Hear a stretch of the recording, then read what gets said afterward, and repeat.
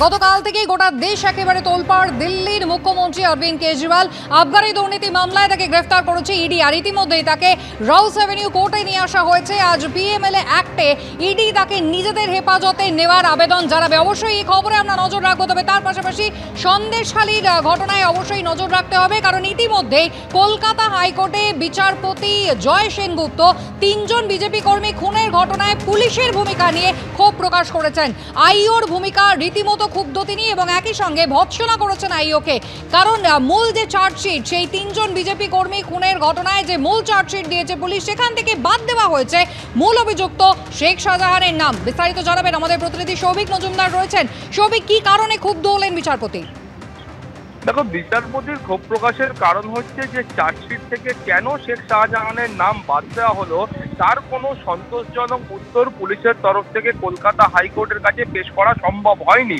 এবং পুলিশকে যখন জিজ্ঞাসা করা হচ্ছে যে আপনারা শেখ শাহজাহানের নাম কেন বাদ দিলেন, তিনি তো এই মামলার ক্ষেত্রে প্রথম এবং মূল অভিযুক্ত।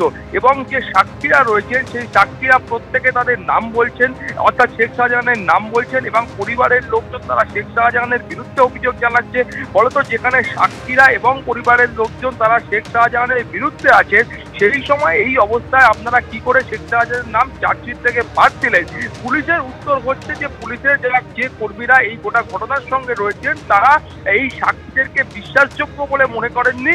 সেই কারণেই তারা শেখ শাহজাহানের নাম চার্জশিট থেকে বাদ দিয়েছেন। অর্থাৎ এখানেই বিচারপতির প্রশ্ন হচ্ছে যে, কোন সাক্ষী বিশ্বাসযোগ্য এবং কোন সাক্ষী বিশ্বাসযোগ্য নয়, সেটা ঠিক করার কাজ কি পুলিশ করবে? অতএব এই গোটা ঘটনার প্রেক্ষিতে কেন শেখ শাহজাহানের নাম চার্জশিট থেকে বাদ দেওয়া হয়েছে? সেই সম্পর্কে আগামী পয়লা এপ্রিলের মধ্যে পুলিশকে তার উপযুক্ত উত্তর পেশ করতে হবে এবং সেই এবং সেই উত্তর সন্তোষজনক না হলে পরবর্তী পর্যায়ের পদক্ষেপ কলকাতা হাইকোর্ট গ্রহণ করবে। কুসুমিতা একেবারেই সৌভিক, ধন্যবাদ। অর্থাৎ ইতিমধ্যেই তিনজন বিজেপি কর্মী খুনের ঘটনায় পুলিশের যে ভূমিকা, তাতে রীতিমতো ক্ষোভ প্রকাশ করলেন বিচারপতি। সময়সীমা বেঁধে দিলেন পয়লা এপ্রিলের মধ্যে এই সংক্রান্ত বিস্তারিত তথ্য তিনি জানতে চেয়েছেন। আর অন্যদিকে আজ বসিরহাট আদালতে নিয়ে আসা হয়েছে শেখ শাহজাহানকে। দশ দিনে সিবিআই হেফাজত শেষ। আজকে তাকে বসিরহাট আদালতে আনা হলো। কথা বলব আমাদের প্রতিনিধি সমীরণ পালের সঙ্গে। সমীরণ, সেক্ষেত্রে সিবিআই এর পরবর্তী ধাপ কি? এতদিন ধরে যে জিজ্ঞাসাবাদ হলো, নতুন কিছু তথ্য কি শেখ শাহজাহানের কাছ থেকে পাওয়া গেল? দেখো, এখনও পর্যন্ত আদালত পেশ করা হয়নি। দুপুর তিরিশটা নাগাদ সিরাত মহকুমা আদালতের শেখ শাহজাহান, তার ভাই শেখ আলমগীর, সারবেরি, আগারহাটি গ্রাম পঞ্চায়েতের তৃণমূলের প্রধান জিয়াউদ্দিন মোল্লা সহ জনকে নিয়ে আসা হয়েছে এবং ইডির ওপর হামলার ঘটনায় যে সিবিআই তদন্ত করছে, এই নজনকে গ্রেপ্তার করা হয়েছে এবং পুলিশ হেফাজত শেষে তাদেরকে নিয়ে আসা হয়েছে। আজকে কিছুক্ষণের মধ্যে বসিরহাট মহকুমা আদালতে তাদেরকে পেশ করা হবে। এই মুহূর্তে আদালত চত্বরে কেন্দ্রীয় বাহিনী কড়া প্রহরা রয়েছে, পুরো মুড়ি ফেলা হয়েছে, নিশ্চিত নিরাপত্তার চাদরে এবং আজকে তাদেরকে পেশ করা হবে এবং সিবিআই পক্ষ থেকে এই কদিনে ইডির উপর হামলার ঘটনায় কি কি তথ্য প্রমাণ তারা জোগাড় করতে বলা তুমি জানো যে ইতিমধ্যেই রাজ্য পরিষদ তরফ থেকে এই ইডির উপর হামলার ঘটনায় মোট সাতজন গ্রেপ্তার করা হয়েছিল এবং তাদের বাড়িতে গিয়ে ইতিমধ্যেই তথ্য প্রমাণ সংগ্রহের চেষ্টা করেছেন এই আধিকারিকরা। এবং সেক্ষেত্রে তারা কি তথ্য পেয়েছেন আদালতকে তারা কি জানান কিছুক্ষণ মধ্যেই জানা যাবে। তবে ইতিমধ্যেই নিয়ে আসা হয়েছে শেখ শাহজাহান, শেখ আলমগীর, জিয়াউদ্দিন মোল্লা সহ নজনকে দুপুর দেড়টা নাগাদ নিয়ে আসে সিবিআই আধিকারিকরা এবং এই মুহূর্তে তাদেরকে কোর্ট লকআপে রাখা হয়েছে। আর কিছুক্ষণের মধ্যে বসিরহাট মহকুমা আদালত তাদেরকে পেশ করা হবে আদালতের কাছে কি বলে সেটাই কিছুক্ষণের মধ্যে জানা যাবে। সুমিরন ধন্যবাদ।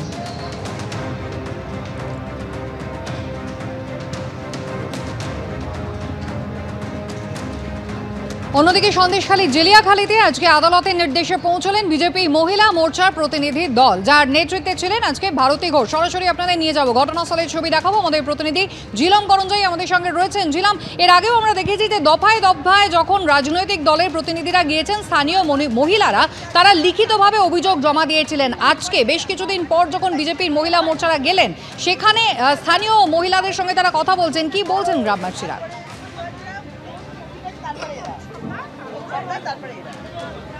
একদমই, তোমাকে সরাসরি নিয়ে যাব সেই দৃশ্যটা দেখাতে ভারতী ঘোষ সহ বিজেপি মহিলা মোর্চার বিভিন্ন নেত্রীরা তারা এসছেন, ফাল্গুনী পাত্র তারা এসছেন এবং জেলিয়াখালীর বিভিন্ন জায়গায় তারা ঘুরছেন, মহিলাদের সঙ্গে কথা বলছেন, গ্রামবাসীদের সঙ্গে কথা বলছেন এবং তারা কি অভিযোগ করছেন সেটা শুনে নেব। আপনি এসছেন কোর্টের অনুমতি নিয়ে, কী অভিযোগ করছে মূলত? দেখুন, সকাল থেকে আমরা যে এলাকাতেই যাচ্ছি, নানা ধরনের অভিযোগ পাচ্ছি। প্রথমে জমি মাফিয়া জমি নিয়ে নিয়েছে। তারপর ধরুন নোনা জল ফসলি জমিতে জোর করে ঢুকিয়ে দিয়েছে।